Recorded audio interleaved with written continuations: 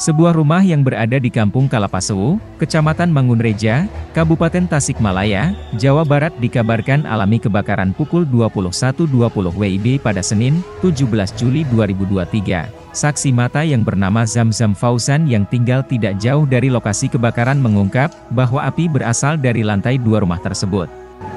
Saya lagi di rumah, di lantai dua lagi terima telepon, sempat terdengar suara kayak batu yang lagi diturunkan dari truk. Saya sempat abaikan. Tapi setelah lama-lama, banyak terdengar suara orang, dan bapak saya dari bawah langsung ngasih tahu saya, kalau rumah Teh Ai, Red, pemilik rumah yang alami kebakaran, tetangga saya, kebakaran, ungkap Zam-Zam kepada Tribun Priangan.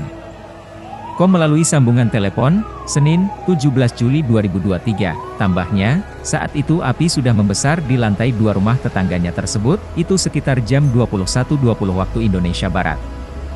Lalu, polisi sama aparat desa, RT, dan lain-lain berdatangan. Warga juga mencoba bantu, Red, memadamkan api, seadanya dengan ember. Tapi api membesar dan merambat ke lantai satu dan sempat terdengar ada ledakan, di dalam rumah, mungkin tabung gas, lengkap zam-zam, ia juga memperkirakan, bahwa kurang lebih pada pukul 21.48 WIB pemadam kebakaran, Damkar Kabupaten Tasikmalaya, tiba di lokasi, datang sekitar lima kendaraan pemadam. Baru sekitar pukul 22.55 WIB, api sudah padam, pungkasnya, keterangan foto, sebuah rumah yang berada di Kampung Kalapasewu. Kecamatan Mangunreja, Kabupaten Tasikmalaya, Jawa Barat dikabarkan alami kebakaran pukul 21.20 WIB pada Senin, 17 Juli 2023.